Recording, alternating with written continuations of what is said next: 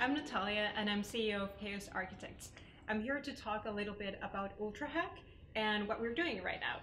Uh, we participated in UltraHack 2015 and we won the Smart City track and actually the competition. So it was very, very good for us. It was a great experience to be there.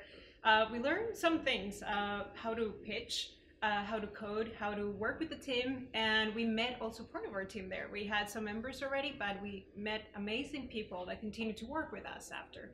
Uh, we won tickets for Slush, so we went directly to pitch there, and it was also very exciting to be in this great scenario.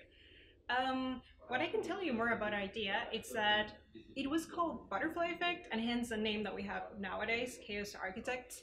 And basically we're building a tool where users can actually tell what they want to change in their city. So we're in the smart city business. And then we work with governments, with companies, and we partner up with sustainable businesses. And after we gather this data in an AI platform, artificial intelligence, everybody's talking about that, then we crunch the data and we sell analytics. So that's what we do, like in a nutshell.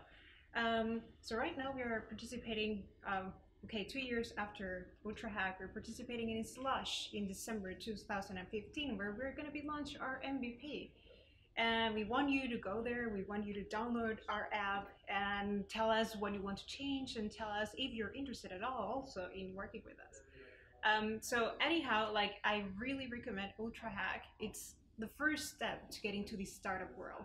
It's gonna help you a lot in all the areas that you can imagine.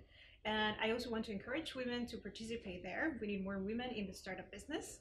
Um, and if you want to know more about us and about our history and story, you can go and check chaosarchitects.com.